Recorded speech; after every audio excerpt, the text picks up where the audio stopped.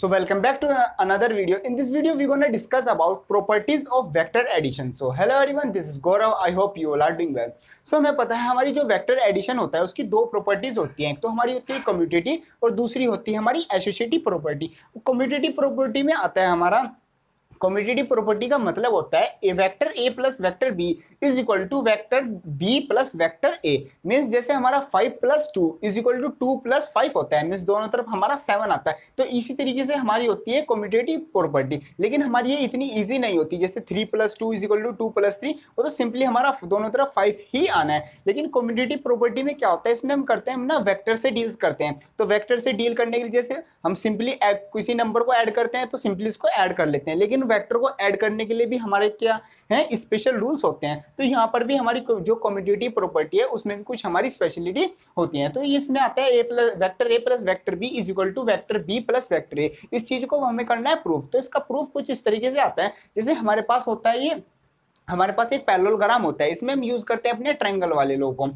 तो इसमें आता है सबसे पहले जो हम इसको मान लेते हैं अपना वेक्टर ए जैसे हमारी ये वाली और ये वाली साइड पैलोग्राम में opposite side equal and parallel होती है। तो अगर ये हमारा वेक्टर ए तो ये भी वेक्टर ए हो जाएगा। और अगर ये वेक्टर बी है तो ये भी क्या हो जाएगा? हमारा वेक्टर बी हो जाएगा। इसकी डायरेक्शन हमारी इस साइड है, इसकी डायरेक्शन हमारी इस साइड है। अगर हम, हमारी इसकी डायरेक्शन इस साइड इस साइड है तो ये जो हमारा ये वाला बीच वाली डायगनल है, ये हमारा क्या रिप्रेजेंट करता है? ये रिप्रेजेंट करता है हमारा ट्राइंगल लो से। ट्राइंगल लो से ये इधर जा रही है, इधर जा रही तो ये वाली साइड क्या रिप्रेजेंट करेगी हमारा रिजल्टेंट और इसी तरीके से हमारा एक ये वाला ट्राइंगल है P S R P S R में हमारा ये बी वाला बी वाला वेक्टर है और ये हमारा ए वाला वेक्टर है। ये हो जाती है हमारी इस साइड तो हमें अगर इसी साइड करें तो हमारा क्या रिप्रेजेंट करेगा? ये भी हमारा रिजल्टेंट मतलब जो हमारा इन दोनों का सम करके जो नंबर आएगा, उसको रिजल्टेंट एक तरीके से उसको वेक्टर को रिप्रेजेंट करेगा। तो इसको हम पहले हम समझते हैं। समझने में सबसे पहले वेक्टर ए और वेक्टर बी हमने मान लिया। हमारी ये वाली लाइन जो हमारी ये वाली लाइन है, ये रिप्रेजेंट कर रही है वेक्टर ए को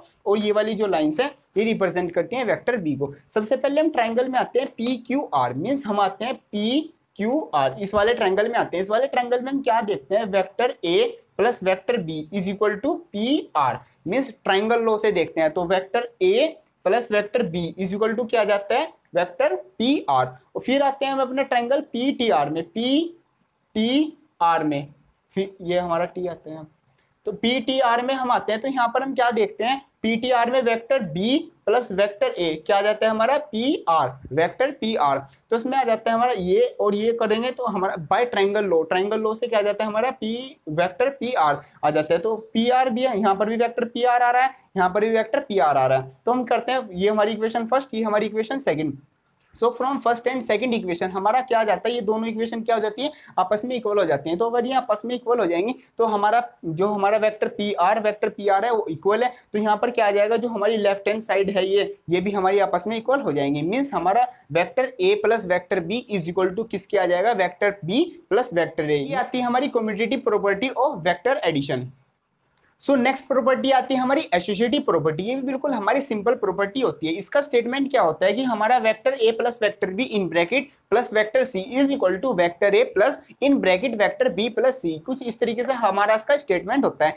इसका प्रूफ भी हमारा बिल्कुल सिंपल होता है। इसमें लेते हैं हम एक अपना क्वारिलेटर लेते हैं मीन्स हमारी एक फोर साइडेड क्लोज फिगर लेते हैं। ये हमारा पैलोग्राम नहीं है। इसमें हम क्या करते हैं, हमारा ये पी क्यू आर हमने इसकी नेमिंग कर लिया और हमारी एक साइड को मान लेते हैं अपना वैक्टर ए दूसरी साइड को वैक्टर बी एंड अपनी थर्ड वाली साइड को मान लेते हैं हम अपना वेक्टर सी वेक्टर के लिए हम, हमें ऊपर अपना एरो लगाना होता है, उसको हम डिनोट करते हैं मतलब अगर हम किसी नंबर के ऊपर या किसी चीज़ के ऊपर एरो लगाते हैं, उसका मतलब हो जाता है हमारा वेक्टर तो उसका प्रूफ हमारा कुछ इस तरीके से होता है। सबसे पहले हम लेते हैं पी क्यू आर मीन्स हम जाते हैं अपना ट्रेंगल पी क्यू आर में। पी क्यू आर में हम देखते हैं, अगर हम vector A plus vector B करें तो बाय ट्रायंगल लो क्या आ जाता है हमारा?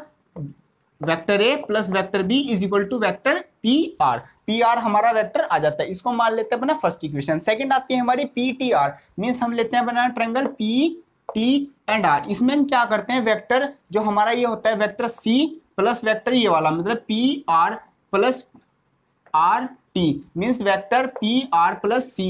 Is equal to आ जाता है हमारा ये पी टी मीन्स वेक्टर जो हमारा ये आता है, पी आर पी आर को हम क्या लिख देते हैं? फ़र्स्ट वाली इक्वेशन से vector A plus vector B P R की जगह डायरेक्ट हमने क्या लिख दिया? Vector A plus vector B plus ये ये प्लस ये क्या है हमारा? वेक्टर सी वेक्टर सी हमने एज इट इज़ लिख रखा। ये आ जाता है हमारा बाय ट्राइंगल लो किसके इक्वल पी टी के मीन्स हमारे वेक्टर आर के। पी टी की जगह हम आर भी लिख सकते हैं या फिर हमने पी टी लिख रखा। इसको मान लेते हैं अपना सेकंड इक्वेशन फिर आते हैं अपना triangle Q R T means अपना आते हैं क्यू आर ओ टी हम आते हैं इस वाले ट्रैंगल में। इस वाले ट्रैंगल में हम करते हैं जैसे vector B plus vector C, क्या आ जाता है हमारा? क्यू टी के इक्वल आ जाता है। तो vector by triangle law. Q plus ये, पहले B plus C is equal to किसके आ जाएगा? क्यू टू के। मीन्स ये इस डायरेक्शन में तो अपोजिट डायरेक्शन में हमारा by triangle law.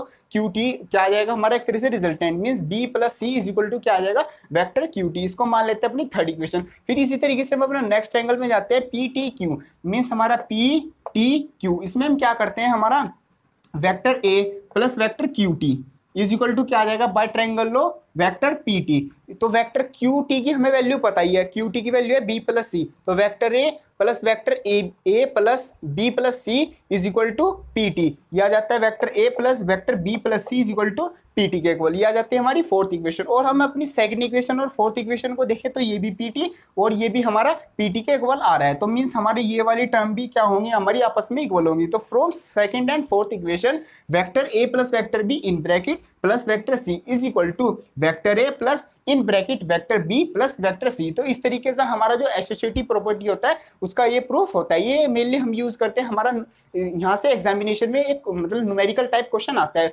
हमारा, उसमें हमें प्रूव करना होता है कि जो हमारा ये, हमारे ए बी सी की वैल्यू दी होती है, वो एसोसिएटिव है या मतलब एसोसिएटिव और कॉम्पिटेटिव ये जो वैक्टर एडिशन है, ये है नहीं। इस चीज़ का हमारा इसमें एग्जामिनेशन में प्रूफ आता है और उनका जो डेरिवेशन है, ये भी हमारा एग्जामिनेशन के लिए इंपॉर्टेंट है।